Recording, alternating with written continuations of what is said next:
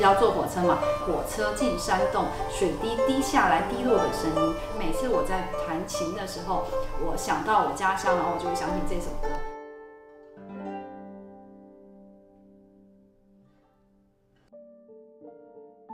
从小在台湾的宜兰县长大的，我二零一四年来到苏州。我跟我的老公是在台南艺术大学认识的，当时候他念的是西乐系，我念的是国乐系。然后后来我一毕业，我就跟着他去了美国，然后他在那边念博士，然后我当时候在那边加入了一些即兴乐团啊，还有室内乐团。后来他毕业之后，他需要找份工作嘛，想一找一个就是教职工作，呃，接到那个苏州大学的这个应聘通知了，我们就来到苏州。我二零一五年的时候进入了苏州大学的研究所，开始念电子音乐。二零一七年，我以前的台湾老师告诉我，他说：“哎，苏苏州现在要成立一个苏州民族管弦乐团，好像是个很好的机会嘛。”然后我当时我就想，好，那我就去试一试吧。就非常幸运的，然后考上了，担任古筝演奏员一职。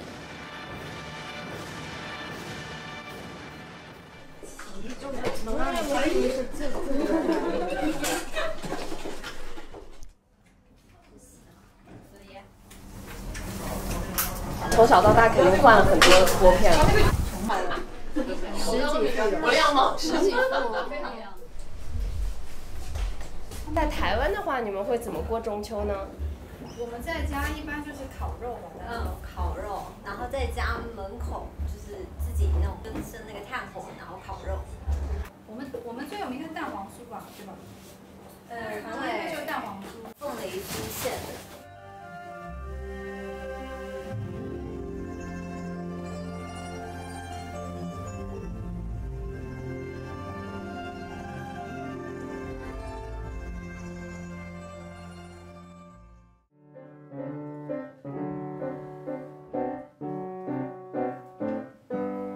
所以这边是很小声的，这边是很大声的。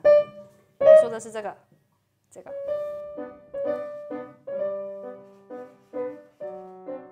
小时候四岁开始学钢琴的，然后当时候为什么要转古筝呢？因为班当时还有主修副修，古筝声音好听，就是要学古筝。大概五年级左右开始接触古筝的，来自南京的老师就算是我的呃大陆的一个位的启蒙老师嘛，就是说嗯在演奏姿态上，这个老师是影响我非常深远的。我学琴的那段时间，曲目量发展的非常迅速，然后在台湾老师他们并没有那么快的，就是那么多曲，就是这些曲谱的来源，所以这时候我们就必须要趁着。暑假这个空档，然后到北京来找老师上课，才能学到他最嗯根本的这个诠释方式。然后除了学一些现代的新的作品以外，我还会找一些传统老一辈的老师来上课的。音乐也是跟方言有一点关系的。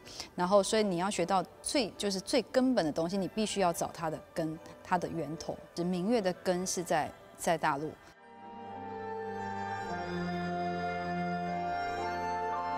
小时候我也就是有看那个《红楼梦》电视剧，然后这一次吧，这次我们要排练那个《红楼梦》，我也蛮就是觉得蛮开心的，因为就是可以听到我们国乐器，然后来演奏这这一套作品这样子。就要停着，一、二、三。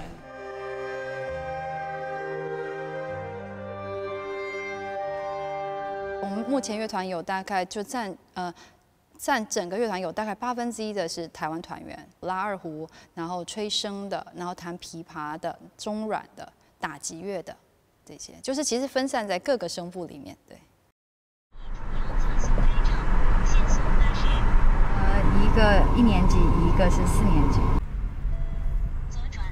妹妹从小就是活泼，就是比较那种鬼灵精怪，姐姐就比较看起来比较安静，但你要让她说起话来，也可以说很。给我回来喽！回来了。姐姐呢？姐姐呢？姐姐呢？你姐姐呢？姐姐，姐姐去哪里了？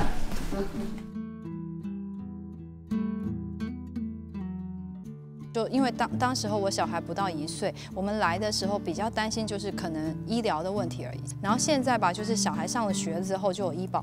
所以有医保之后，我们基本上有状况还是都在这边，就呃习惯这边生活之后，就会比较融入这边，就知道说哦，我们遇到这种状况怎么去处理它。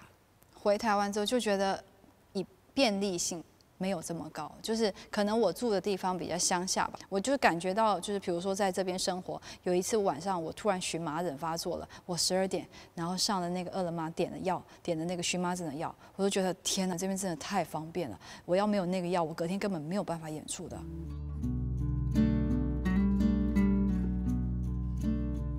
我爸妈其实非常喜欢这边的生活，他们觉得生活机能都很方便，他们连买菜都不要出门。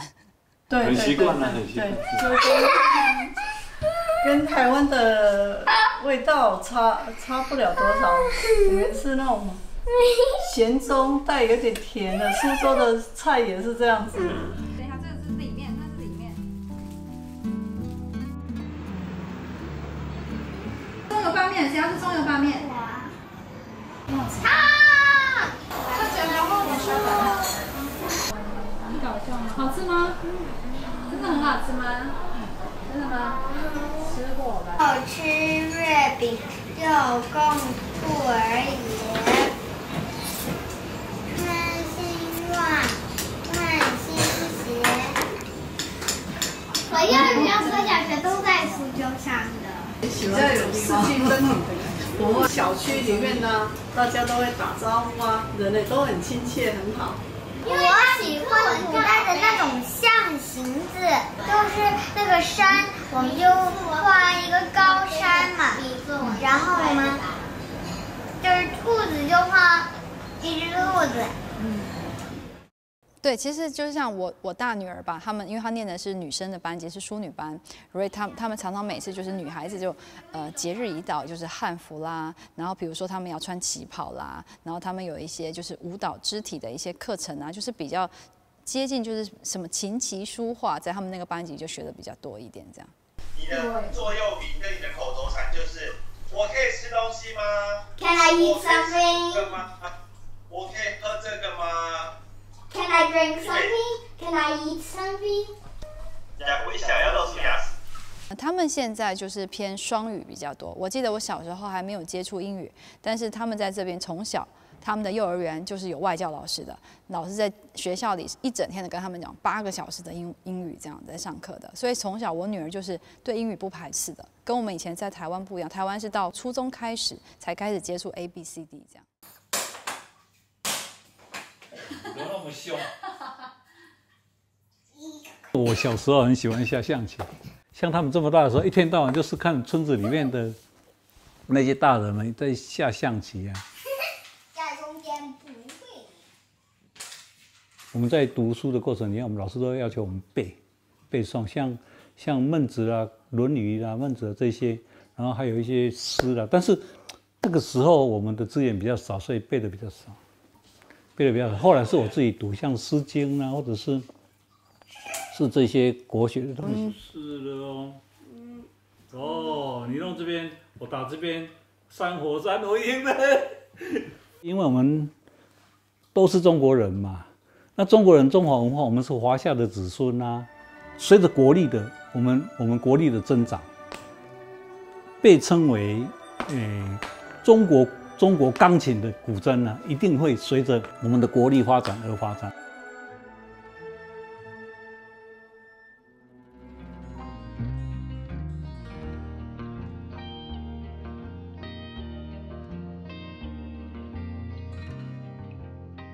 我想要学艺术。他想要学艺术因为我长大想要当画家，然后我也想和妈妈一样变成一个有名的音乐家。